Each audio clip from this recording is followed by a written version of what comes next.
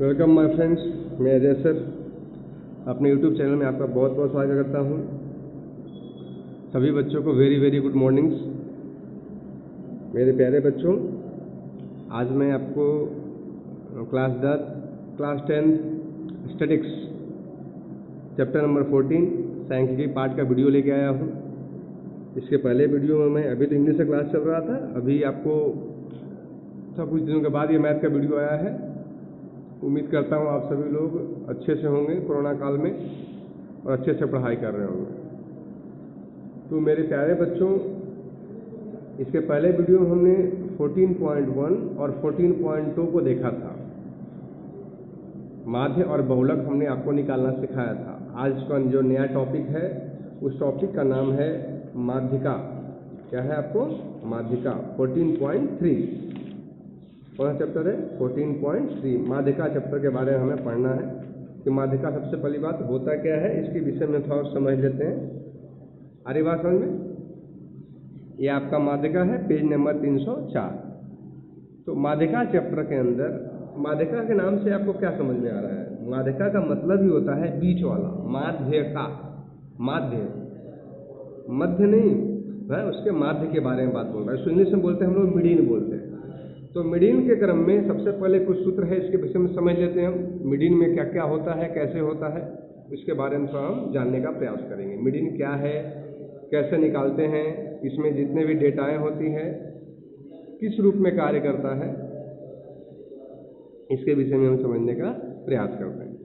तो सबसे पहले देखिए, मिडिन का मतलब होता है बीच वाला। मिडिन का मतलब क्या होता है, बीच वाला होता है। आधी बात समझ में? मिडिन का मतलब क्या होता है, बीच वाला होता है। तो जब भी जो संख्या हमको दिया रहेगा, इसमें दो, इसमें तीन तरह के सवाल आपको आते हैं। एक तो आपको ऑब्जेक्टिव के अंदर संख्या वाला सवाल आएगा, ऐसे उसमें लिखा रहेगा, ऐसा संख्या लिखा है बोलेगा इसका माध्य का बताओ, क्या होगा माध्य का क्या होगा। दूसरा आपको टेबल वाला होगा, है? और तीसरा आपको अंतराल वाला होगा। तीन तरह के आपको सवाल देखने को मिलेंगे। हाँ तो मेरे प्यारे बच्चों, इसके अंदर जनरली हमको देखना होता है कि इस टाइप के सवाल आपको मिलेंगे देखने के लिए। इस टाइप के होंगे। सबसे पहले हम इस टाइप के सवाल देखने का प्रयास करते हैं, कि कैसे हम सॉल्व करेंगे। तो बच्चों, इसके अंदर सबसे पहले इस टाइप संख्या लिखी होगी। इन संख्याओं में क्या देखेंगे कि सबसे पहला काम है आपको करना कि चढ़ते क्रम में करना है। जब भी आप संख्या देखो तो दी गई संख्याओं को क्या करना है आपको? चढ़ते क्रम में करना है। और चढ़ते क्रम में हम कैसे करेंगे? देखिए जैसे में दो, चार, पाँच, आठ, तीन, छः, सात है। इन क्वेश्चन है, इन संख्याओं को हमको क्या निकालना है आपको? माध्यिका निकालना है। माध्यक, है तो माध्यक निकालना है तो हमें कैसे निकालेंगे? तो सबसे पहला काम है, दी गई संख्याओं को चढ़ते क्रम में करो। क्या करो? दी गई संख्याओं को आप चढ़ते क्रम में करो। तो दो, पाँच, चढ़ते क्रम समझते हैं ना? सबसे पहले सबसे छोटा, फिर उससे बड़ा, फिर उससे बड़ा, फिर उससे बड़ा, फिर उससे बड़ा, फिर उससे बड़ा। ये क्या कहलाता है आपको? चढ़ते क्रम में कहलाता है। आगे बात समझे क्या कहलाता है आपको ये? चढ़ते क्रम में कहलाता है। तो जो संख्याएँ दी गई है, वो संख्या क्या कहलाता है? चढ़ते क्रम में कहलाता है। तो दी गई संख्याओं को सबसे पहले क्या करना है आपको? चढ़ते क्रम में अवस्थित करना है। आधी बात समझ में?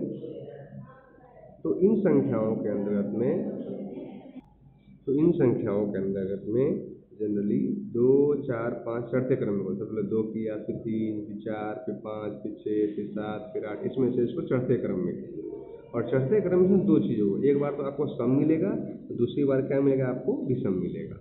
यदि सम संख्या मिलता है तो एन बटे टूवा पद या एन प्लस वन वनवा पद का बीच का बिंदु होता तो मेरे प्यारे बच्चों तो यहाँ के सवाल में हम देख रहे थे, यहाँ पर हमने ये पाया है कि सबसे पहले सोच कर दिया, दो, तीन, चार, पाँच, छः, सात, आठ, किया?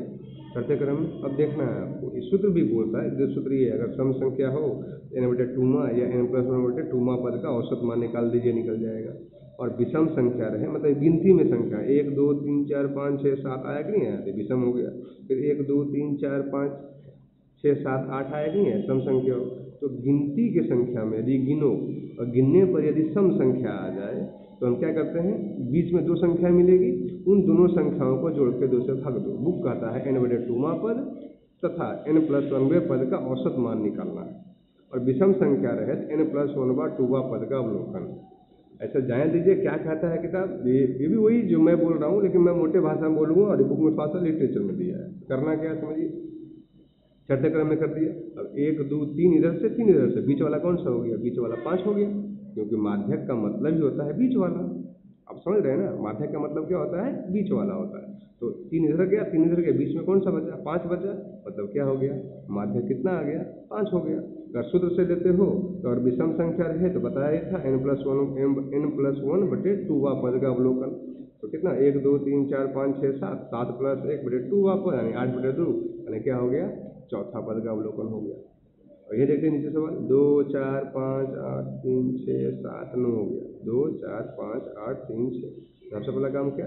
यदि आप माध्य निकाल रहे हैं तो सबसे पहला काम आपका है कि दी गई संख्याओं को सबसे पहले आप चढ़ते क्रम में करें। तो चढ़ते क्रम में करो। दो के बाद तीन तीन के बाद चार चार के बाद पाँच पाँच के बाद छः छः के बाद सात, आठ, नौ। चढ़ते क्रम में हो गया। मैंने क्या हुआ दो, चार छः आठ संख्या। कम संख्या हो गया तो बीच का देखिए तीन इधर चला गया, तीन इधर चला गया। बचा कौन? बीच का दो संख्या बचा। अब इन दोनों को दोनों को जोड़ दो और दो से भाग भाग कर दो। तो पाँच जोड़ छः छः या पाँच ग्यारह बटे दो कितना आ गया? पाँच पॉइंट पाँच आ गया। अरे बात समझ कितना आया? पाँच पॉइंट पाँच आ गया। यानी ये क्वेश्चन आपको आएगा एक नंबर के सवाल में। कितने नंबर में आएगा? एक नंबर में आएगा। एक नंबर में आएगा तो आप इस टाइप से बता देंगे। मैं फिर से रिपीट कर रहा हूँ। जब भी आपको माध्यक निकालना होता है तो सबसे पहले संख्या को चढ़ते क्रम में वसूल करो और उसके बाद विषम संख्या, बीच वाली संख्या को चुन लो। यदि सम संख्या हो तो बीच में दो संख्या आएगी, दोनों को दो से डिवाइड करके भाग ले दो, जो होगा हमारा आंसर होगा। और यदि विषम संख्या, यदि विषम संख्या हो तो बीच वाली आपको एक संख्या मिलेगा। उन संख्याओं क्या करेंगे हम? बीच वाला ले लेंगे तो हमारा क्या हो जाएगा? निकल जाएगा संख्या माध्यम निकल जाएगा। आरी बात समझ? उसके बाद एक संख्या होती है, एक चीज़ होता है संचयी आवृत्ति। संचयी आवृत्ति क्या चीज़ होता है? तो कोई भी आवृत्ति चढ़ते क्रम में होगा या उतरते क्रम में होगा। कोई भी आवृत्ति चढ़ते क्रम में होगा या उतरते क्रम में होगा, इसे हम क्या बोलेंगे? संचयी आवृत्ति बोलेंगे। जैसे देखिए यहाँ संख्या लिखा हुआ है। दो, चार, पाँच, आठ, तीन छः सात के चढ़ रहा है, फिर उतर गया, फिर चढ़ गया मिले मिक्स है मतलब ये संचय आवृत्ति नहीं है। लेकिन देखिए, इसी संख्या देख लीजिए। दो, तीन, चार, पाँच छः सात, आठ। सब चढ़ते क्रम में है कि नहीं है? तो एक यह संख्या क्या है आपको? ये संचयी आवृत्ति कहलाएगा। तो आपको सवाल में चुनना है, देखना है कि संचयी आवृत्ति है कि संचयी आवृत्ति नहीं है। अगर संचयी आवृत्ति ऑलरेडी रहेगा तो हमको संचयी आवृत्ति में बदलने की ज़रूरत नहीं है। और यदि संचयी आवृत्ति नहीं रहेगा तो उसको हम संचयी आवृत्ति में बदलेंगे। आधी बात समझ में? अच्छा संचय आवृत्ति क्या समझ रहे होंगे आप? कि दी गई आवृत्ति यदि चढ़ते क्रम में हो या उतरते क्रम में हो तो उसको हम क्या बोलते हैं? संचयी आवृत्ति कहते हैं। ठीक है? चलिए। ठीक है? अभी देखिए क्या बोल रहा है। अभी आपको संचयी आवृत्ति अब जो माध्यक माध्यक निकालना है, मिडिन निकालना है, इसको मिडिन बोलते हैं इसमें क्या बोलते हैं आपको? मिडिन बोलते हैं। तो मिडिन कैसे निकालना है? सबसे पहले इसमें हम देखने का प्रयास करेंगे। अगर अंतराल वाला सवाल होगा तो उसमें सूत्र होता है मिडिन बराबर l plus n by two minus c f बटे एफ़ गुने एच एल समझ लीजिए एल को यहाँ कर लीजिए, बीच में लिख लीजिए, ठीक है? अब क्या l plus n by two minus c f बटे एफ़ गुने एच अब क्या कौन क्या क्या होगा होता है एल एल मतलब क्या होगा? माध्यका वर्ग की निम्न सीमा। एल मतलब क्या होगा? माध्यका वाले वर्ग की निम्न सीमा। एन क्या होगा? प्रेक्षणों की संख्या। सी एफ़ क्या होगा? माध्यक माध्यक वर्ग के ठीक पहले वाले वर्ग की संचयी आवृत्ति। सी एफ़ कहलाएगा, ठीक है? एफ़ क्या कहलाएगा? माध्यक वाले वर्ग की बारंबारता कहलाएगी। एच क्या कहलाएगा? उसका वर्ग का माप कहलाएगा। अरे बात समझ में? इसी प्रकार, अब इसी प्रकार का आपको एक सवाल बॉक्स वाला सवाल मिलेगा। देखिए सवाल में देखिए क्या बोल रहा है सवाल में। फ़र्स्ट प्रॉब्लम में क्या बोल रहा है? कि प्राप्तांक दिया गया है और इतना दिया गया, ठीक है? ऐसा दिया गया है। तो इसका हमको क्या निकालना है? माध्यक निकालना है। क्या निकालना है? माध्यक निकालना है। तो माध्यक हम कैसे निकालेंगे? सबसे देखिए छः है, अट्ठाईस है, चौबीस है, पंद्रह है, दो है, चार है, एक है और बीस है। देखिए, यहाँ पर अंतराल में नहीं है, किसमें है? पहला सवाल तो हमने आपको समझाया कि वो संख्या में दो, चार छः आठ, इस टाइप का पहला सवाल समझाया आपको कि दो, चार, पाँच छः ऐसा आपको दिया रहेगा। ऐसा भी आ सकता है और टीम में आपको दूसरा ऐसा भी आएगा। देखिए, ऊपर वाला अंतर नहीं ना, बीस का बीस का छः है, उनतीस का अट्ठाईस है, अट्ठाईस का चौबीस है, तैंतीस का पंद्रह है, बयालीस का दो है, अड़तीस का चार है, तैंतालीस का एक है, पच्चीस का कितना है, बीस है। इस टाइप का आपको रहेगा, प्राप्तांग आपको दिया रहेगा। तो जब इस टाइप का प्राप्तांग रहेगा तो पहले हम क्या करेंगे इसका? देखिए छः अट्ठाईस, चार, चौबीस, पंद्रह, दो, चार, एक, बीस, देखिए ये बढ़ गया, फिर घट गया, फिर बढ़, घट गया, फिर घट गया फिर घट बढ़ गया, फिर घट गया, फिर बढ़ गया। मतलब ये संचयी आवृत्ति नहीं है। तो हम करेंगे क्या? इसको पहले हम संचयी आवृत्ति में बदलेंगे। क्या करेंगे? संचयी आवृत्ति में बदलेंगे। तो संचयी आवृत्ति में हम कैसे बदलेंगे? इसको समझने का प्रयास करते हैं हम। सबसे पहले संचयी आवृत्ति में कैसे बदलेंगे? तो देखिए, हमने क्वेश्चन लिखा है क्या है आपको? सबसे पहले बीस है, पच्चीस है, अट्ठाईस, उनतीस लिख दिया। और की संख्या लिखा हुआ है, ज़ीरो, छः, बीस, चौबीस, अट्ठाईस पंद्रह, चार छः दो, ठीक है? अब हम संचयी आवृत्ति कैसे निकालेंगे?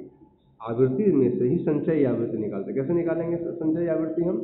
सबसे पहले छः है तो पहले छः का छः दिए। अब इसमें जोड़ते जाइए। बीस और छः छब्बीस। तो कितना हो गया? बीस और छः कितना हो गया? छब्बीस। फिर क्या करेंगे? फिर चौबीस, बीस और छः तीनों को जोड़ देंगे। यानी कितना हो जाएगा? चौबीस जोड़, बीस जोड़ छः बराबर कितना हो जाएगा आपको? पचास हो जाएगा। तो इस पचास में क्या करेंगे? अट्ठाईस जोड़ देंगे। कितना हो जाएगा? अठहत्तर हो जाएगा। इस रसद में क्या करेंगे हम? पंद्रह जोड़ देंगे, कितना हो जाएगा? नाइन्टी थ्री हो जाएगा। जोड़ते जाइए आप, ठीक है? इस नाइन्टी थ्री में चार जोड़ देंगे कितना आएगा? नाइन्टी सेवन आ जाएगा। इसमें आगे वाला जोड़ते आगे का टर्म जोड़ते जाना है तो हम संचय आवृत्ति निकल जाएगा। संतानवे है, दो जोड़ देंगे तो नाइन्टी नाइन हो गया। नाइन्टी नाइन है, एक जोड़ देंगे, कितना हो जाएगा आपको? सौ हो जाएगा। आ रही बात समझ में? ये क्या निकल गया आपको? संचयी आवृत्ति। फिर से मैं बताता हूँ, सबसे पहला छः का छः हो गया। छः में बीस जोड़ दीजिए, छब्बीस हो जाएगा। छब्बीस में चौबीस जोड़ दीजिए, पचास हो जाएगा। पचास में अट्ठाईस जोड़ दीजिए अठहत्तर हो जाएगा। अठहत्तर में पंद्रह जोड़ दीजिए नाइन्टी थ्री हो जाएगा। नाइन्टी थ्री में चार जोड़ दीजिए नाइन्टी सेवन हो जाएगा। नाइन्टी सेवन में दो जोड़ दीजिए नाइन्टी नाइन हो जाएगा। नाइन्टी नाइन में वन जोड़ दीजिए हंड्रेड हो जाएगा। ये क्या निकल गया आपको? संचयी आवृत्ति निकल गया। क्या निकल गया? संचयी आवृत्ति निकल गया। अब हमें क्या करना है? अब हमें इसका माध्यक निकालना है। अरे बात समझ में क्या निकालना है? माध्यक निकालना है। तो माध्यक निकालना क्या रूल है? देखिए, कि कुल कितने आया? सौ संख्या। कितना आया? सौ। सौ क्या हो गया आपको? सम संख्या हो गया। हुआ कि नहीं हुआ? सौ कितना हो गया? सम संख्या हो गया। आधी बात समझ में अब सौ संख्या हुआ मतलब क्या हुआ? इसमें क्या करेंगे हम? तो सौ एन बटे टू एन बटे टू हुआ n two n plus one बटे टू हुआ का बीच का अवलोकन। सूत्र हमने आपको यहाँ देखिए दिखाया था, याद होगा आपको। कि अगर सम संख्या हो तो एनवा पद तथा तो एन बटे टू व पद का औसत का मान निकालते हैं, क्या हो जाता है वो? यहाँ हो जाता है। एन बटे टू एन बटे टू कितना हो गया? पचास। ये हो जाएगा पचास। सौ है, सौ बटे दो, पचास हो जाएगा। होगा ना? सौ बटे में दो, कितना हो जाएगा? पचास आ जाएगा। अब सौ प्लस एक, कितना हो जाएगा? सौ प्लस एक एक सौ एक। एक सौ एक बटे दो, क्या जाएगा? कितना हो जाएगा? पच पचास पॉइंट पाँच हो जाएगा। कितना हो जाएगा? पचास पॉइंट पाँच हो जाएगा।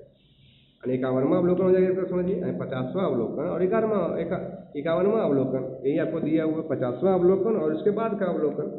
अरे बात समझ कितना हो गया? इक्यावनवा अवलोकन। तो बोलिए, पचासवा वाले वैल्यू किसमें आ रही है? देखिए ध्यान से। पचासवा वाली जो हमारी वैल्यू आ रही है, वो किसमें आ रही है? वो ध्यान से देखिए। तो पचास ये हो गया इसका वैल्यू कितना हो गया? अट्ठाईस हो गया। उसके बाद उसके बाद इसमें आएगा इक्यावनवा यानी five fifty five point five आ रहा है। समझ रहे ना? क्या आ रहा है? फिफ्टी फाइव पॉइंट फाइव आ रहा है उसके बाद का अवलोकन? एन बटे टू एन प्लस वन है टू अवलोकन है। कितना हो गया? फिफ्टी वनवा अवलोकन हो जाएगा। फिफ्टी वनवा अवलोकन में क्या आएगा? सेवेंटी एट वाला इसके बाद यही आएगा घर में ट्वेंटी नाइन हो जाएगा। ट्वेंटी एट और ट्वेंटी नाइन को दोनों को जोड़ दीजिए। ट्वेंटी एट और ट्वेंटी नाइन को दोनों को जोड़ दीजिए तो कितना आ जाएगा? ट्वेंटी एट पॉइंट फाइव हो जाएगा। ये क्या कहलाएगा आपको? माध्यक माध्यक कहलाएगा। तो इस टाइप के ऑब्जेक्टिव में दो टाइप के आपको इस, इस दो टाइप के आपको सवाल मिलेंगे। आर्य संघ में। अब नेक्स्ट वीडियो में इसका जो मेन सवाल है, जो एग्ज़ाम में पूछा आता है ये भी एग्ज़ाम में आता है, लेकिन ये एक नंबर वाले में आता है, दो नंबर वाले में आता है। एक नंबर वाले में ही पूछा आता है। ठीक है? चलिए ओके थैंक यू